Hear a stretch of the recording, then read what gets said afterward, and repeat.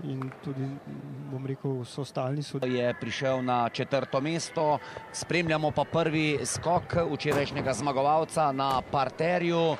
Barta, državni prvak v mnogoboju.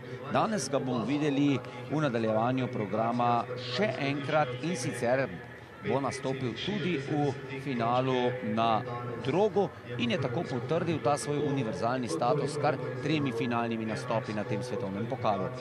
No, tole je bil zopet premet naprej, dvojni skrčeni salto naprej.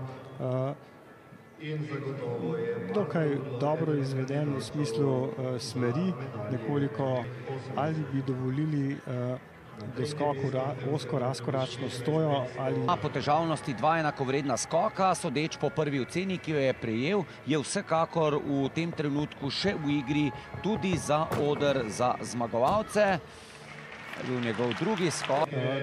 Tole je bil zelo lepo v liniji, dolg korak, tako da tole bo visoka ocena za ta drugi skok. Bil je tudi lepo nožno sneženje tekom celega leta, večja napaka tudi v naskoku, razmnoženje, vendar je to pri skokih tipa Cukahara obvezno, tako da tu vsak, ki skoči skok Cukahara oziroma tipa Cukahara ali Casamatsu. Kaj pa Dernu, pa na drugem mestu štirinajst šeststo